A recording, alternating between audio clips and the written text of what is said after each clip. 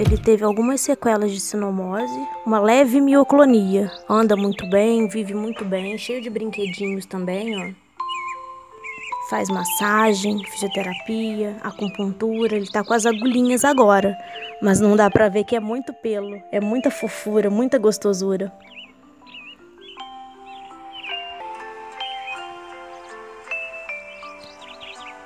É criado com muito amor, muito carinho. É um menino maravilhoso. Anda, corre, faz bagunça.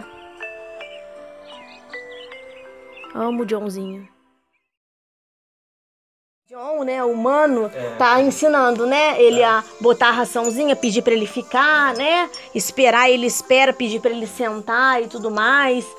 É, isso é bom, sabe por quê? Estimula a parte neurológica dele também. Sabe assim? Estimula a inteligência dele. Ele fica cada vez mais inteligente.